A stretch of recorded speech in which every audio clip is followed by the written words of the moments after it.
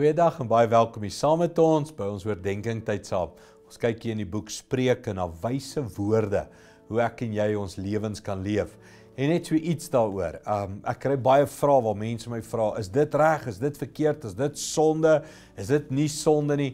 En my antwoord baie kere is, gaan dit altyd oor sonde en nie sonde nie. Wat net van wys en onwys? Ek bedoel, dit gaan nie eers oor reg of verkeerd nie. Dit gaan net oor baie goed is blaatant dom. En as jy dit gaan doen, sê God wat jou straf nie, dis net dom. So kom ons vra vir die Here vir wysheid, nê, nee, net wyse optrede. Kyk vandag sin hy sê jy stel vir jouself 'n stryk. As jy ewe maklik iets aan die Here beloof en eers daarna besef wat jy beloof het. Spreuke 20:25. Jy stel vir jouself 'n stryk. As jy te vinnig praat en 'n klomp beloftes aan die Here maak en eers later besef wat jy wat jy beloof het. Um oh, baie keer as jy in 'n hoek gedruk is, nê, dan beloof jy, jy bargain met die Here, jy maak deals met die Here. Ek het al mense gehoor wat sê, Here, as U vir my hierdie werk gee, dan sal ek vir die res van my lewe elke maand tiende betaal. Um jy's so ver agter in jou skuld en jou huis gaan teruggevat word en dalk moet jy eers 2, 3 maande wag voordat jy 'n bydrae lewer aan die kerk en net eers jou skuld betaal of wat ook al, maar jy maak 'n belofte en dit is 'n dom belofte. Jy maak hom aan die Here. Um Here as U my in hierdie situasie help, sal ek nooit weer met Jannie beklei nie. As Jannie net terugkom huis toe, sal ek altyd vir Jannie lief wees.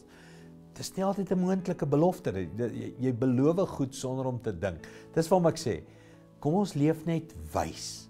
God gaan nie vir jou kwaad wees nie. God gaan jou nie straf omdat jy 'n dom belofte gemaak het nie maar jy gaan gevolge dra in jou lewe. So kom ons bid vir die Here en sê help ons net om wys te wees, ook in ons gesprekke met U, ons ons beloftes met U, ook in ons beloftes aan ander mense. Kom ons wees net wys. Kom ons bid dit saam.